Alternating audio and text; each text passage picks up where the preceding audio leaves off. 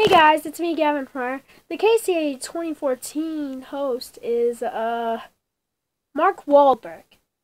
He starred in a lot of movies, and then, and then, and then at the end, he won on the awards.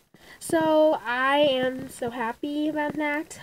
It's really working out. The appeal is this, nothing Mm-hmm. Turn these. But I know he's really cool. He's really nice. And I can't wait to see what like. So, uh, so the day after the 2014 Kids Choice Awards, I will be, uh, announcing the winners on paper. Okay, I'm gonna write the winners down, just so you know. And it's gotta, it's gotta take a while this video to get loaded. Okay?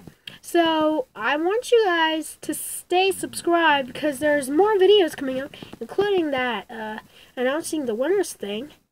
Don't forget to leave a comment and subscribe. Uh, don't forget to like this video. Oh, and just so you know, I won't be making shorts and Grammy anymore. So, stay tuned for some good cartoons that you're really interested in. What is your reaction? Stuff in the comment section below. And don't forget to subscribe and like this video as well. But please don't dislike.